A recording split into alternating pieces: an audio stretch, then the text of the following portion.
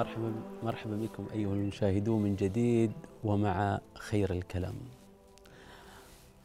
آه نعود معكم من جديد ومع خير الكلام ولكن هنا أريد أن أقف مع محطات مع فضيلة الدكتور الشيخ محمد عبد الرحمن من آه الهيئة العامة للشؤون الإسلامية والأوقاف بل هو كبير مفتي الهيئة العامة للشؤون الإسلامية والأوقاف حياك الله فضيلة الدكتور. الله يحييكم أهلا وسهلا الله يجزيك خير حياك الله فضيلة الدكتور. فضيلة الدكتور نحن سنتحاور بعض النقاط المهمة جدا والتي لا بد آه أن نأخذ بها بعين الاعتبار ونحن في هذا الشهر الفضيل. آه طبعا من باب الذكرى يعني يستفيد نحن نستفيد والمشاهدون كذلك آه يستفيدون من بعض الأمور المهمة تتعلق بهذا الشهر الفضيل خاصة نحن على عتبة هذا الشهر. يعني أصبح الإنسان يعني الأصل الأصل فضل الدكتور أن الإنسان يعني يحاول أن يهيئ نفسه قبل رمضان. لماذا؟ من أذان الفجر وهو إيش؟ هو مستعد أتم الاستعداد أو قبل حتى أذان الفجر. قد استعد استعدادا عظيما لهذا الشهر الفضيل. أن يؤذن صلاة الفجر هو دخل في عالم آخر. عالم هذا الشهر الفضيل. فضيلة الدكتور يعني أنا حقيقة أقف مع رحمة الله عز وجل. مع سعة رحمة الله عز وجل وعطائه وكرمه وجوده وإحسانه علينا نحن. يعني نحن نتقلب في رحمة الله عز وجل بمواسم. هذه المواسم التي رب العزة سبحانه جل وعلا يجود بها علينا. جينا للصلاة تعال خذ أجر. في الصباح فتح باب الأجر. في المساء فتح باب الأجر. ذهبت في موسم الحج هناك باب أجر قد فتح للإنسان. عاشوراء فتح باب أجر للإنسان. نصف من شعبان باب أجر فتح آه للإنسان. يوم الجمعة باب أجر فتح للإنسان. يوم الاثنين باب أجر فتح للإنسان. يوم الخميس باب أجر فتح آه للإنسان. يأتي الإنسان بعد ذلك في أوقات أخرى في كل ليلة.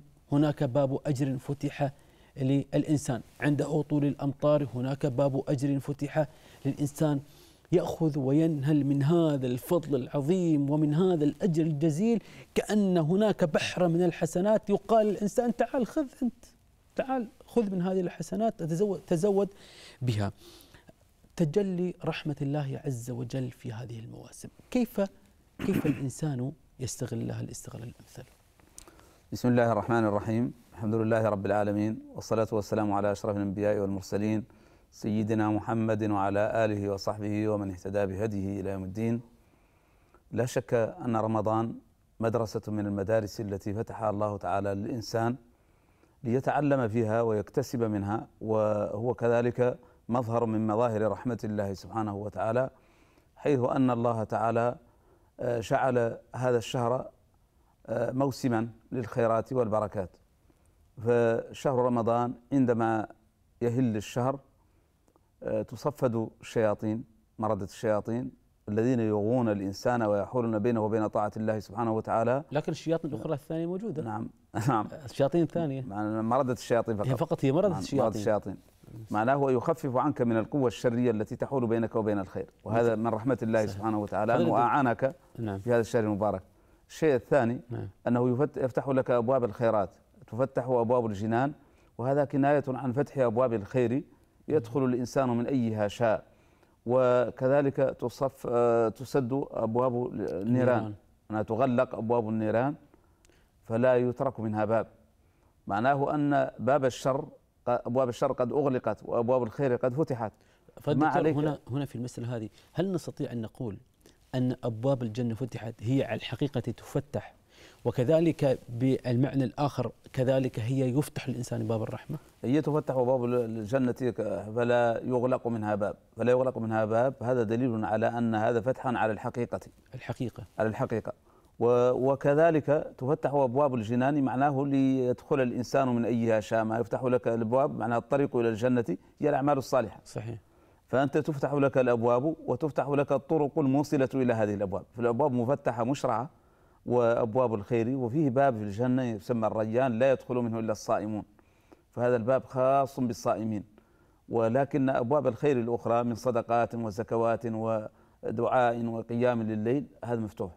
ثم إن رمضان كذلك فرصة للإنسان لتصحيح أخطائه خلال السنة.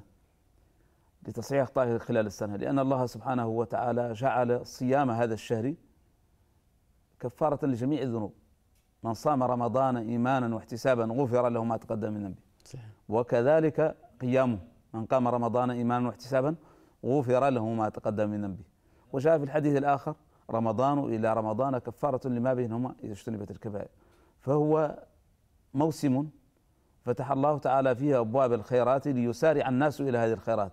فيكثروا من الذكر فيه يكثروا من التصدق فيه يكثروا من قيام الليل فيه. يكثروا من تلاوة القرآن لأنه شهر القرآن شهر رمضان الذي أنزل فيه القرآن فإذا كان هو ظرفا لتنزلات القرآن الذي هو رحمة الله تعالى وحبله الممدود ومائدة الله تعالى في الأرض فمعناه أنه ينبغي لنا أن نكثر من تلاوته والعمل به وتدبره والتخلق به نعم. في هذا الشهر المبارك لأنه شهر الرحمة صحيح. ثم كذلك إن هذا الشهر من مظاهر الرحمة فيه أن لله تعالى عتقاء في كل ليلة من رمضان كل ليلة يعتق فيها ناس قد استحق عليهم القول بأنهم استحقوا النار فيعتقون يدخلون الجنة من غير سبب. لكن من هنا فضيلة الدكتور أقف, أقف هنا مع العتقاء. يعني إنسان يعني أنا أتي مثلا أنا صايم من الفجر إلى أذان المغرب لم أكل ولم أشرب أنا صايم حكما. نعم. لكن عملا لا. يعني أنا ممكن ممكن أتكلم بغيبة ويمكن أنا أنظر إلى ما حرم الله يمكن يمكن يمكن. فهل كذلك يدخل في هذا الجانب؟ هو حقيقة الأجور الموعودة على رمضان والجوائز المعدة بشروط. شرطها أن يكون الإنسان صائما حقا. صائما عن كل ما يسخط الله سبحانه وتعالى. معناها مشغول بذكر الله تعالى وبعبادة الله تعالى وبما ينفعه وينفع الآخرين من أمور الدنيا.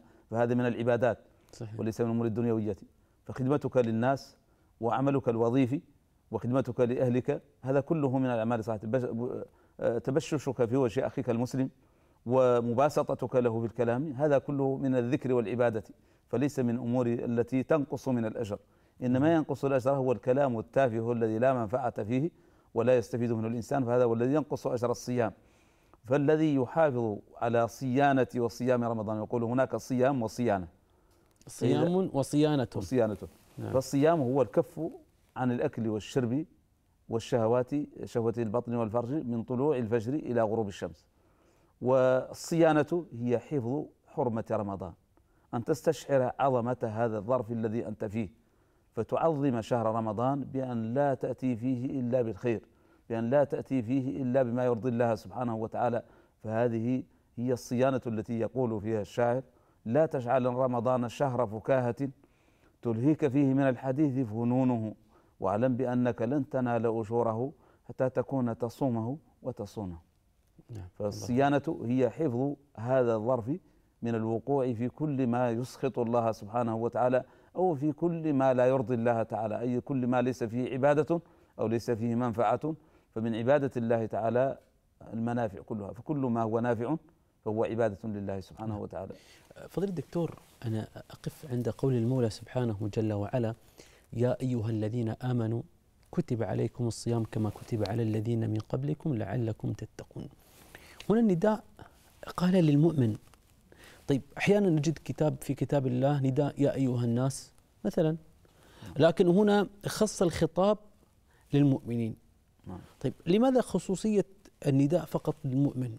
هل هناك لما يعني يحمل هو من أهلية معينة وأنه يتصف بصفات معينة حتى يكون خطاب له دون غيره؟ لأنه هو المنتفع به. قالوا خص المؤمن لأنه هو المنتفع حقيقة وإلا فالخطاب عام. إلا أنه خص المؤمن لأنه هو المنتفع حقيقة.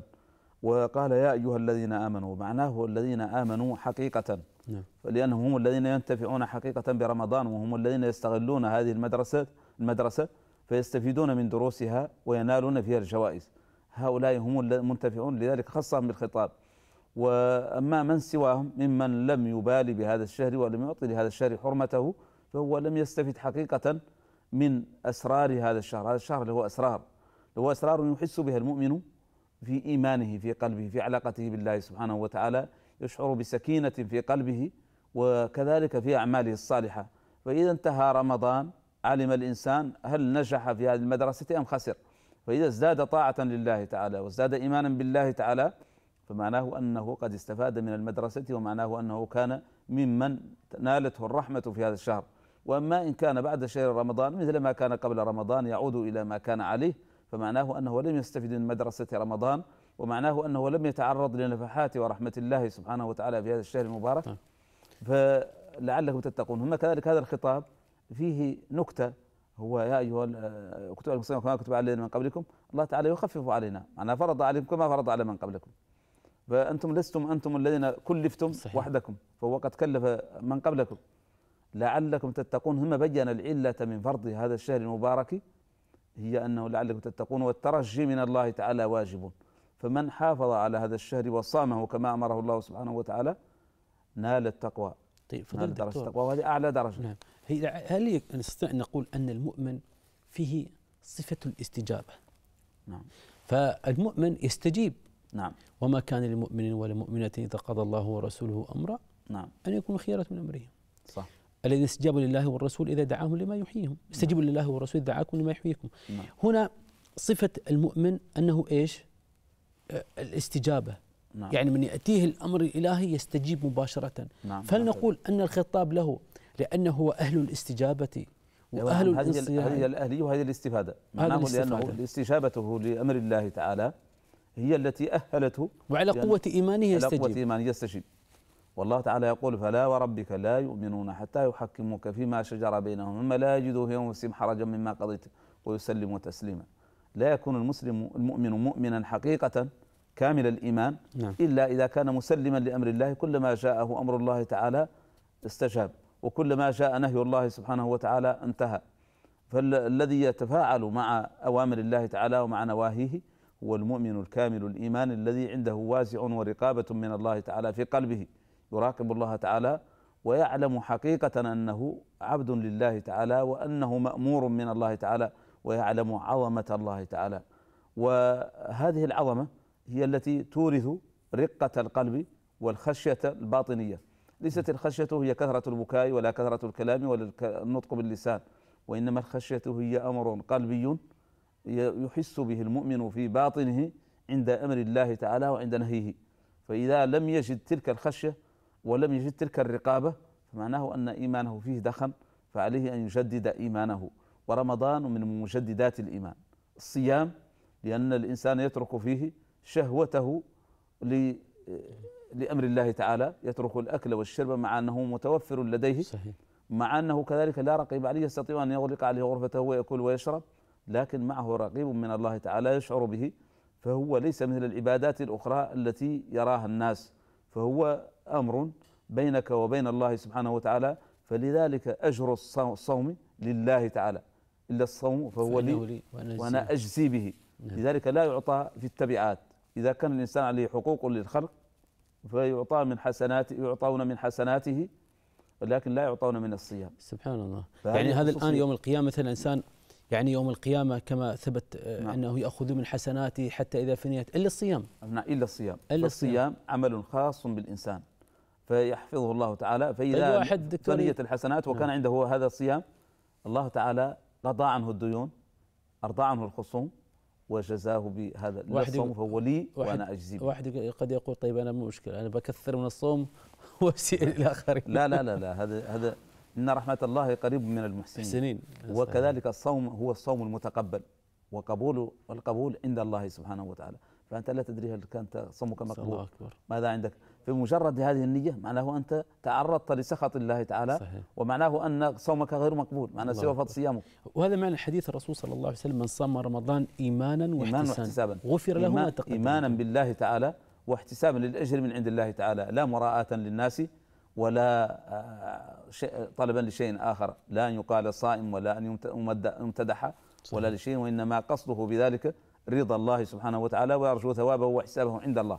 طيب هنا مسألة مهمة جدا دكتور أثرتها. الله يجزيك خير. الآن أنا أنا صراحة هذا شعوري وشعور كل مشاهد أنا أتمنى يكون صومي مقبول. نعم. صلاتي مقبولة صومي مقبول زكاتي قد قبلت حجي قد قبل. طيب هل هناك علامات أستطيع من خلالها أن هذا العمل قد قبل؟ هي في علامات قلنا أن من علاماتها هو أن تحس بالسكينة بعد العمل الصالح سواء كان صدقة طيب لو كان كان صياما أو كان صلاة. إذا أحسست بهذه السكينة وهذا الإيمان وازداد إيمانك فمعناه أن هذه العبادة مقبولة ومعناه أنها أديت على الوجه ال- ال- ال- الذي طلبه الله سبحانه وتعالى. وإذا لم تحس بها بل وجدت نفسك في كدر وفي آه، إعراض عن العبادة. كذلك الإقبال على العبادة وكذلك الاستقامة. لأن الله سبحانه وتعالى يقول إنما يتقبل الله من المتقين. إنما يتقبل الله إنما للحصر. لأن إن الإثبات وما النافية إذا تركب النفي والإثبات أفاد الحصر.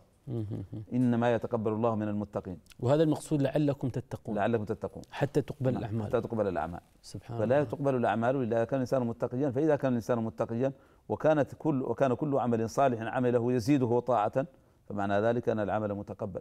وإذا كان العمل الصالح لا يزيدك في الخير وإنما تزداد بعده شرا فمعناه أنك لم تؤدي العمل الصالح على وجهه وبالتالي لم يقبل منك.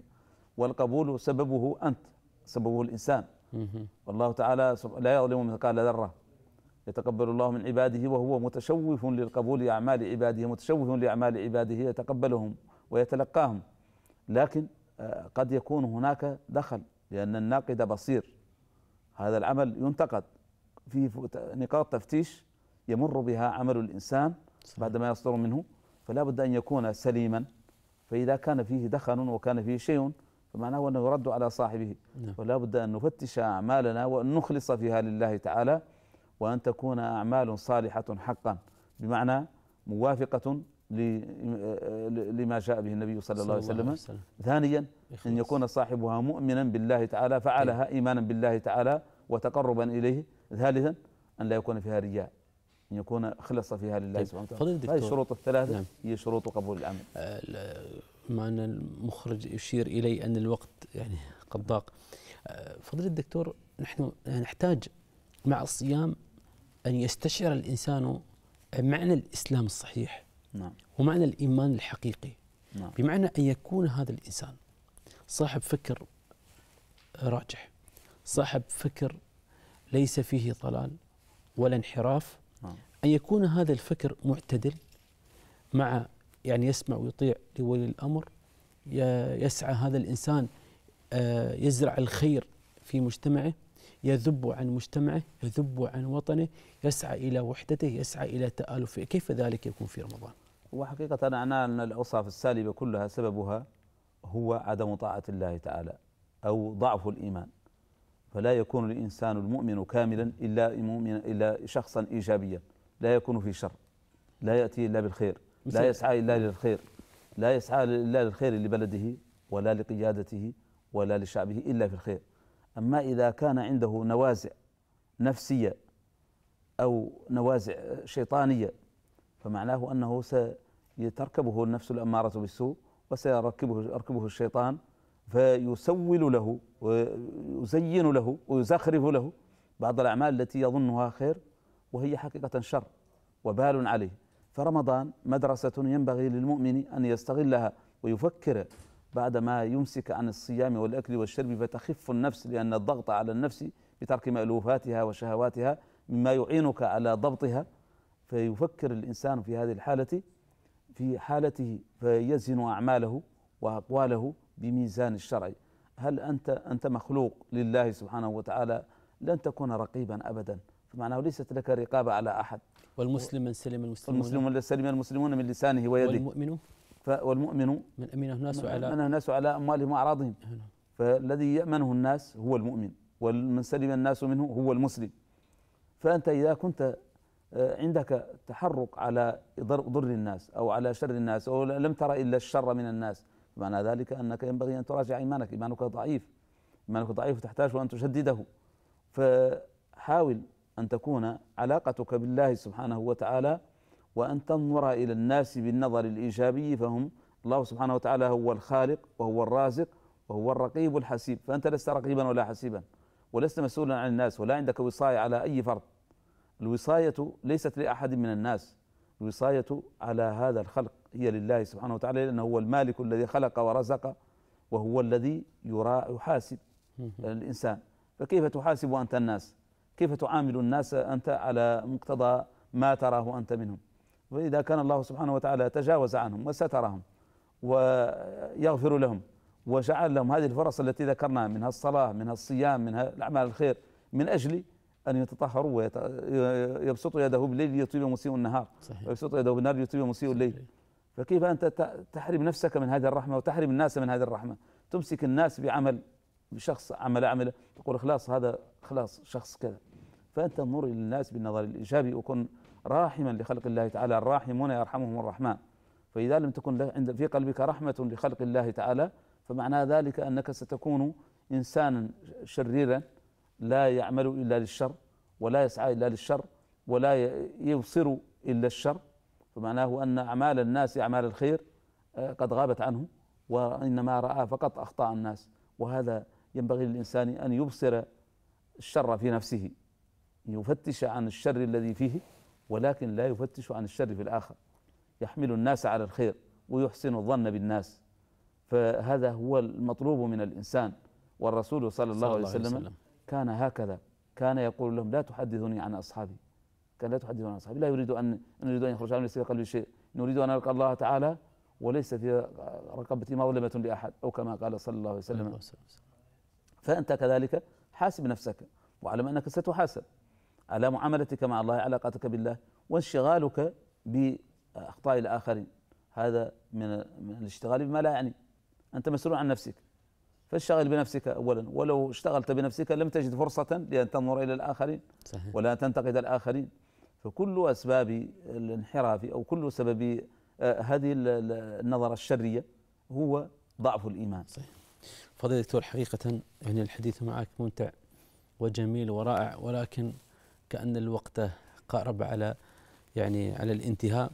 وحقيقة نحن الآن في هذا الشهر الفضيل لابد ينظر الإنسان إلى تقوية إيمانه وإلى أن يكون مؤمنا حقيقيا بمعنى أن يسعى إلى مرضاة الله سبحانه جل وعلا في صلاته وفي صومه وفي تلاوة القرآن وفي ذكر الله عز وجل ويسعى إلى تعميق ذلك. يعني لا يكتفي فقط كما كان عليه في السابق بل يسعى ويجاهد نفسه ويشمر ويضع نفسه برنامجا متى يتلو القرآن متى يذكر الله عز وجل أين يصلي التراويح أين يصلي القيام كيف يصوم كيف يبتعد عما يغضب الله سبحانه جل وعلا.